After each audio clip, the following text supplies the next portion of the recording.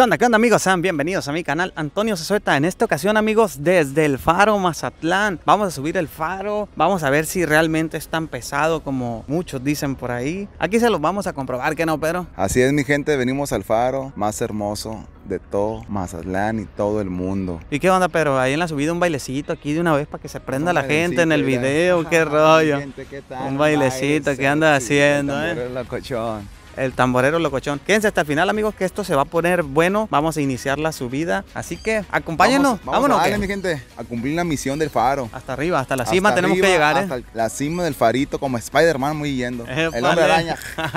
el hombre ar- araña o el hombre que araña. El hombre que araña. Vámonos, pues.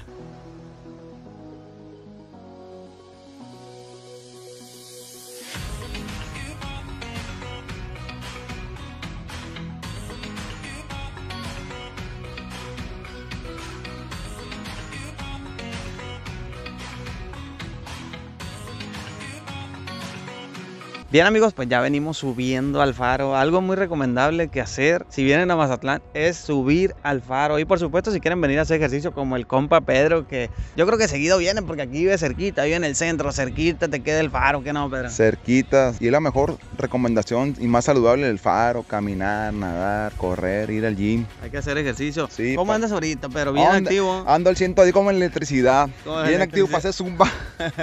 Ahorita vamos a llegar hasta allá, hasta arriba, amigos del faro. Tempranito, madrugamos ahora, porque sí, muchas personas me han preguntado cuál es la hora recomendable para venir a subir el faro. Y yo les digo, no sé, Pedro, tú que eres de Mazatlán también, quisiera que me dieras tu opinión, qué es lo que opinas al respecto. Yo les digo que en la mañana, muy tempranito, digamos hacia las 7, poquito antes de las 7, para que no les agarre el sol muy fuerte, o ya bien en la tarde, como a las 4 de la tarde, ya, ya cuando el sol viene bajando de aquel lado, pues por la parte donde suben, que es por esta parte por donde vamos a subir, ya empieza a pegar la sombra. ¿O tú cómo la ves, Pedro? Sí, sí, sí, muy recomendable también a las seis y media de la mañana, a las 7. Igual aquí como dice mi compa Tuki, a las 5, 4 y media, 6 de la tarde. Tampoco que lo agarren muy oscuro, para que lo suban bien y lo bajen bien sin ningún percance. Así es, así es. Ahorita que el sol se está metiendo muy temprano, pues sí es recomendable venir como a las 4 de la tarde. Pero hay ocasiones que el sol se mete hasta las 8 de la noche. Es mejor venirse como a las 6. Aparte porque el calorcito siempre pega el Mazatlán. Ahorita está medio fresco, Está fresquezón.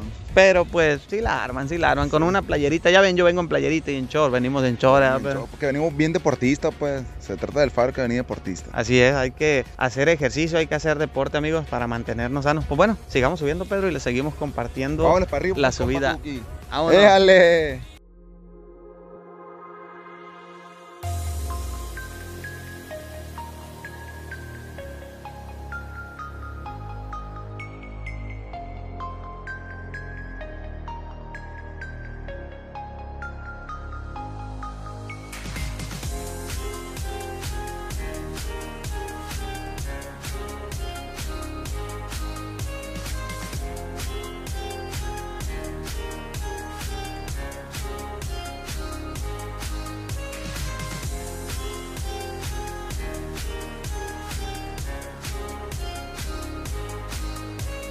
Algo muy curioso, amigos, cuando ustedes vienen al faro, es que hay mucho que, mucho que.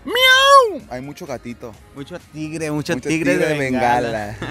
es lo que dice Pedro. Aquí se pueden encontrar mucho gatito, amigos. Yo creo que hay bastantes, más de 100, yo creo. Por toda la subida del Por faro. hay toda la subida del faro te vas a encontrar un gatito y gente, es muy recomendable cuando vengan aquí al faro, tomen sus debidas precauciones, no, no arrojen basura, no vayan jugando, no se distraigan, porque en un momento sucede un, incidente. Y así hay que, hay que estar precavidos, amigos. Aquí en la subida del faro hay parte que es como cementito, un caminito de cementito, otro de piedritas, hasta que llegan a las escaleras. Más o menos a la mitad del camino están las escaleras y son 336 escaleras, amigos. Como les digo, la mitad del camino es como, como pisito, piedrita. Ahorita les voy a tratar de hacer una toma para que lo ubiquen. Ya llegando a la mitad, siguen las escaleras y de ahí para real viene lo bueno, viene el esfuerzo. Para aquellos que se preguntan, porque a veces vienen personas ya mayores y dicen, la haré para subir. Pues igual pueden venir y cada cierta vuelta hay descansos, amigos. Igual se quedan hasta donde lleguen, porque de hecho ya desde aquí podemos mirar una impresionante vista, amigos. Mire, vean. Y que nos hermosa. regala la naturaleza. Qué chulada. Regalos de la naturaleza, como Regalo dice el Pedro. de Dios y la naturaleza. Así es, así es, amigos. Es muy bonito venir aquí, sentirse libres, subir hasta el faro y, por supuesto, divisar todo Mazatlán. Se ve muy, muy bien. Aquí les voy a estar compartiendo unas tomas para que estén al pendiente. Pero por lo pronto, sigamos subiendo. Sigamos Pedro, que- nuestro camino hasta el faro.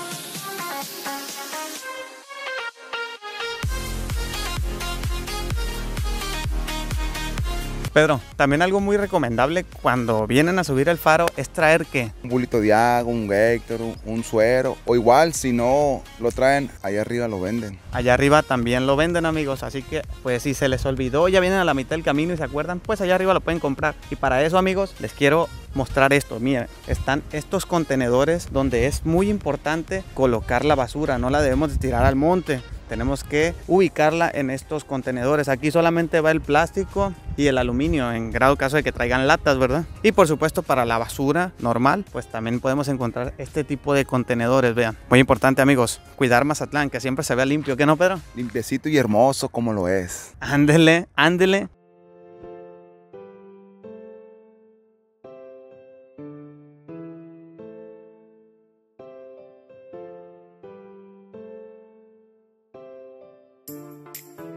Ay, ahí donde la ves, Pedro, como que ya ando medio cansado y apenas llegamos a la mitad, apenas vamos llegando a las escaleras. ¿Tú cómo andas? Auxilio, socorro, ¿y ahora quién puede rescatarme?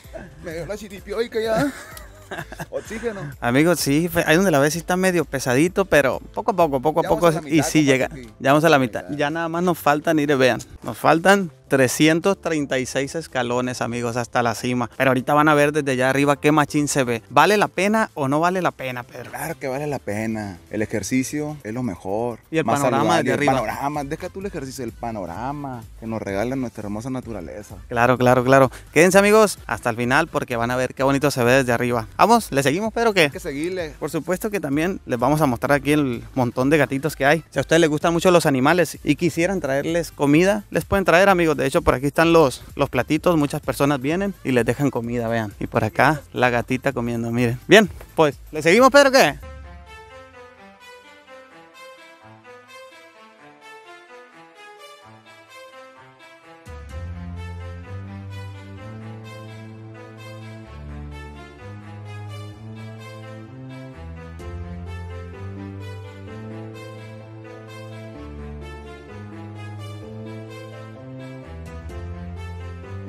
De hecho, amigos, por si se les olvida la cuenta de cuántos escalones llevan, cada 30 escalones están marcados, ¿verdad, Pedro? Así cada 30 escalones lleva una secuencia, una numeración. Y si quieren descansar, descansen porque está duro, ¿eh? Pueden irse sentando en, no sé, cada 20 escalones, cada 30, depende como puedan. O si se la quieren llevar de una, pues de una, ¿verdad, Pedro? Como ustedes lo vean y su físico lo sienta. Se lo mira, 30 escalones. Vamos a mostrárselos para que lo vean.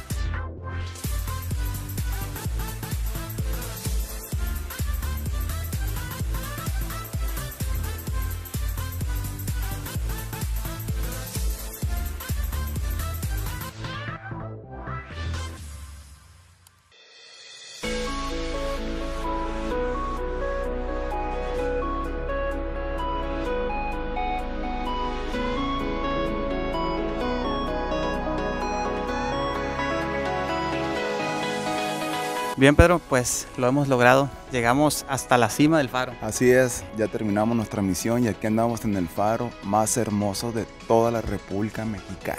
El faro natural más alto Del mundo. del mundo. Sí, amigos, son 154 metros. Ya vieron que son 336 escaleras. Aparte de la mitad del camino, pues ya vieron aquí en el video también que es parte tierrita, es parte como cementito con piedra. Ahí va, ahí va la cosa, ahí va poco a poquito, ¿no? Pero Así es, poco a poquito va la cosa y les recomendamos que si visitan Malán no se olvide venir al faro, porque si no lo visita, haga de cuenta que no vinieron. Así es, así es amigos. Es muy recomendable si visita el Mazatlán venir al faro. Se llevan un muy bonito recuerdo aquí en Mazatlán. Por cierto, Pedro, compártenos tus redes sociales para que la gente te siga. A lo mejor quiere contratar la banda, porque aquellos que no saben, Pedro trae una banda del tamborero Locochón Siempre Alegre. Dime tú, Pedro. Bueno, mi gente, les encargo mis, mis redes sociales en el Facebook como el tamborero Locochón Siempre Alegre. De, regalen un like y para contrataciones con banda al 691 106619 Estoy disponible para, para agarrar su, su, fiesta. Voy a hacer un show que ni una banda se lo hace. Sí, es despedida de soltera, divorcio, lo que sea, ¿no, Pedro? Entierro, lo que sea.